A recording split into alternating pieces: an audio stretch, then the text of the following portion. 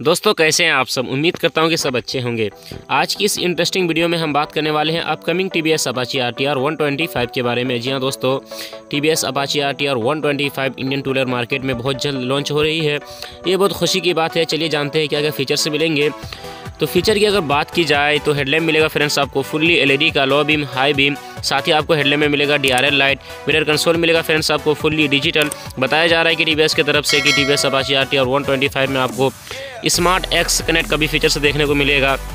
Backlight भी मिल जाएगा आपको भी शेप में फुल्ली एलईडी का और रियर का लुक और डिज़ाइन आपको फोर बी जैसा देखने को मिलेगा। बाइक का जो कलर ऑप्शन होगा friends five colour option total आपको मिल जाएँगे। व्हाइट मिल जाएगा आपको फ्रेंड्स ब्लू मिल जाएगा रेड मिल जाएगा। और ग्रे मिल जाएगा फ्रेंड्स, और मैट ग्रे भी आपको देखने को मिल जाएगा। और इसके फीचर के बारे में जान लेते हैं तो आपको सिंगल चैनल एबीएस का फीचर से मिलने वाला है T V S Apache R T R one twenty five में।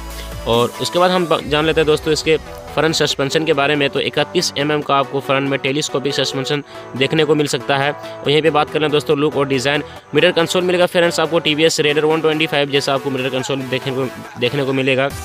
और टी की ब्रांडिंग और फ्लैग का लोगो दोस्तों, एक खास चीज़ मैं आपको बता दूँ कि टी की बाइकों में आपको टी अपाची हो या फिर टी अपाची फोर हो टी की कोई भी बाइक हो तो एक चीज़ आपको देखने को मिलता है ज़्यादातर, वो हमारे तिरंगे का लोगो आपको देखने को मिलता है। जैसे कि आपको टी अपाची में टेल पैनल में तिरंगे का लोगो देखने को मिलता है और टीवीएस अपाची के जो हेडलैम्प है वाइसर में भी आपको फोर में भी आप देख सकते हैं, तिरंगे का लोगो है। तो ये बहुत अच्छी बात है दोस्तों। तो ऐसे में दोस्तों, बड़ा अच्छा लगता है क्योंकि हमारे देश का शान एक बाइक में लगा हो। और ऐसे भी हम लोग 15 अगस्त और 26 जनवरी को तिरंगे का लोगो लगाते हैं। चलिए दोस्तों, ये सब तो बात की बात है, लेकिन इसके फीचर के बारे में और जान लेते हैं तो side stand cut off engine का फीचर्स देखने को मिलेगा। इंजन फ्रेंड्स आपको मिलेगा 124 सीसी का एयर कूल इंजन देखने को मिलेगा। पाव पावर की अगर बात की जाए तो मैक्सिमम पावर आपको मिलेगा फ्रेंड्स टेन पॉइंट टेन का, और maximum newton more maximum torque की अगर बात की जाए तो आपको मिलेगा फ्रेंड्स एट पॉइंट एम का।